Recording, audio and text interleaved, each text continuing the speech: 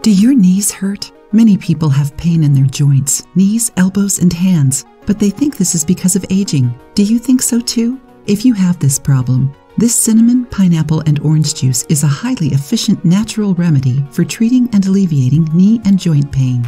The vitamin C found in pineapple and orange is essential for the bones. Pineapple also contains big amounts of bromelain, an anti inflammatory that helps with joint pains. Cinnamon helps the blood flow more efficiently through the body, and orange juice strengthens the ligaments and tendons. To make this drink, you will need 2 small cups of diced pineapple, 1 cup of rolled oats, 2 cups of water, 1 glass of orange juice, 1 cinnamon stick, raw honey, natural. Add the water and rolled oats to a pan and let them cook for a few minutes. After the oat is cooked, let it cool down. Add the oatmeal, orange juice, cinnamon, pineapple, and honey to a blender. Mix everything and add some water if you want the juice thinner. For better results, it is recommended to drink the juice daily. After five days, you should notice a total improvement in your knee and joint pains. So, did you like this recipe? Try it and share it with us if you notice any improvements. Did you like the flavor? If you liked the video, give it a thumbs up and share it with your friends.